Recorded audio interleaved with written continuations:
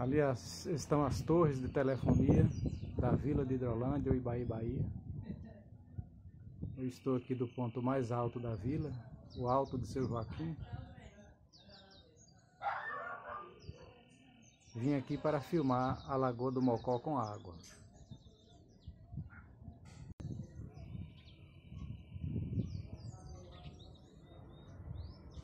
Lá está o beco do Cacimbão.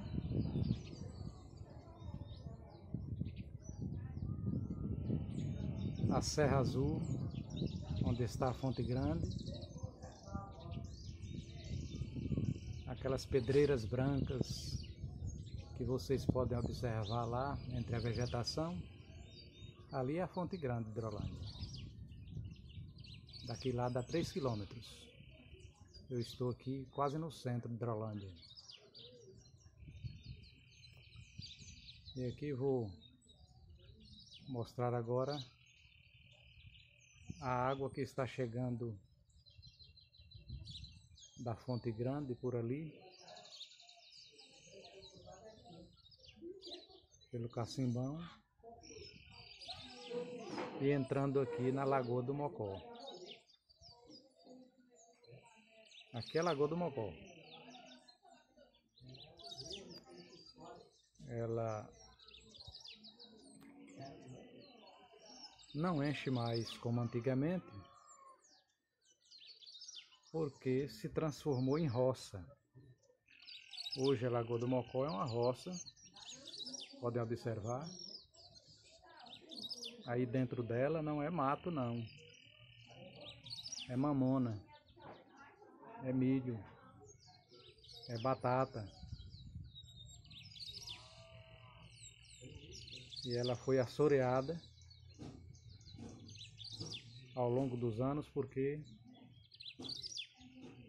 o proprietário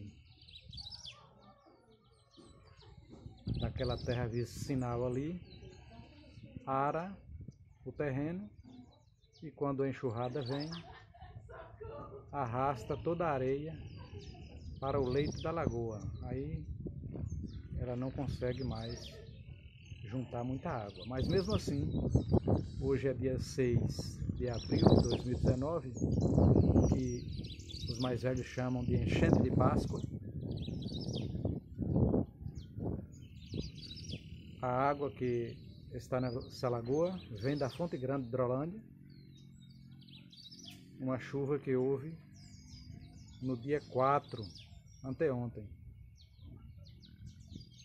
Mas que até hoje ainda está entrando um pouco de água aqui na nossa histórica Lagoa do Mocó.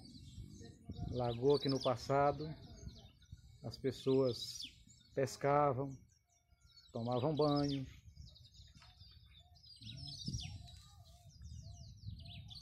davam de beber aos animais hoje está praticamente toda fatiada.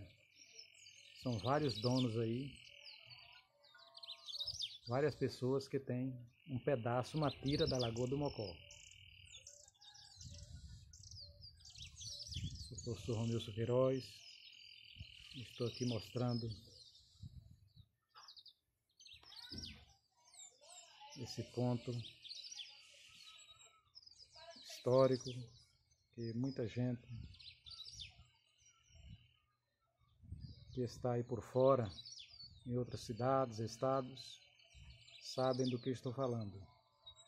Da Lagoa do Mocó, da Vila de Hidrolândia, o Ibaí, Bahia. Sou o professor Romilson Queiroz, fazendo esse registro aqui.